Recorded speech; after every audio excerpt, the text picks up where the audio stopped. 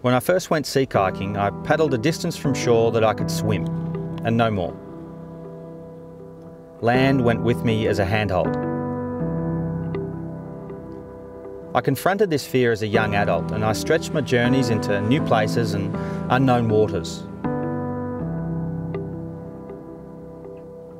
After many years, I lost sight of land.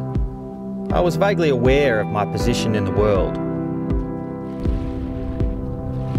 You know, this endless water, endless horizon, it was both unnerving and comforting.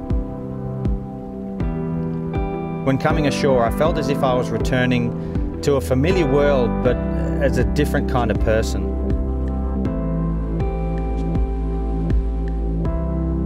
That is the privilege of the sea kayaker. You get to go places, both real and imagined, that others rarely go.